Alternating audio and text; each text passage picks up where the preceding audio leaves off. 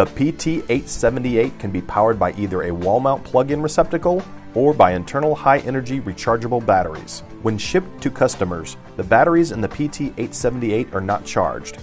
It is recommended that you charge the batteries for 24 hours prior to remote use of the PT878 flow meter. In order to charge the batteries, you must plug in the AC power adapter to a power source. Ensure the PT878 is turned off before connecting line voltage.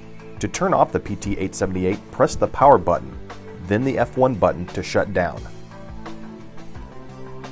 The AC adapter port is located on the top left-hand side of the PT878. Before plugging in the power adapter cable to the power adapter port, align the pins from the adapter port to the adapter cable and push the adapter cable straight in until you hear a click. Plug the power cord into the PT878 AC adapter and then plug the other end of the power cord into a power receptacle for line voltage. A LED light indicates confirmation that power is connected and flowing to the AC adapter. When plugged into line voltage, the PT878 will charge whether the unit is on or off. The battery icon in the upper right corner of the PT878 screen indicates battery status.